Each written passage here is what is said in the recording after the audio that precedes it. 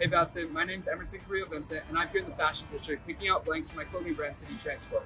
Here in LA, from skaters in Venice to girls in quinceanera dresses, fashion's a way to connect identity, culture, and inclusion. I decided to combine my love of fashion with my interest in business because I love creating and seeing an idea come to fruition, which led to the creation of City Transport. I've done City Transport mostly because I love creating pieces that help people express their unique identities, and I love seeing an idea transform into a product. In this process, I've gotten the chance to collaborate with good friends and brand new acquaintances, like when I came here to the Griffith Observatory for the marketing shoot with our impromptu models being visitors to LA from all over the world. I did this because I love to create, collaborate, and take a risk by pursuing something meaningful. At Babson, it isn't just a business school, it's a leadership school.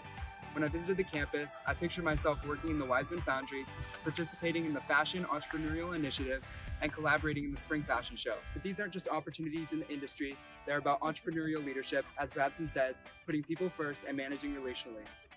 Babson would enable me to grow as an entrepreneurial leader invested in taking informed risks to solve the world's most complex problems.